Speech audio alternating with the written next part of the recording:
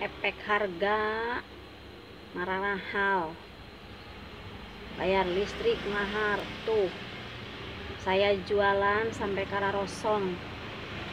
Coba duitnya habis buat bayar listrik tiap bulan.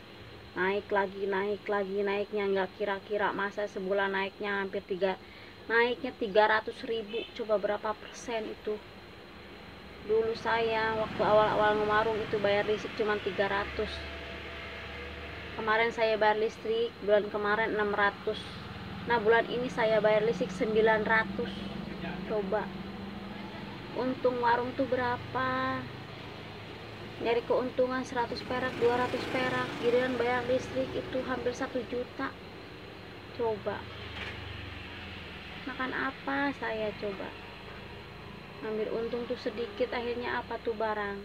Sampai kosong pada kosong begini coba tiap bulan yang dipikirin mah pengennya mah ada keuntungan dari jualan. Ini mah keuntungannya dipakai buat bayar listrik. Sedih coba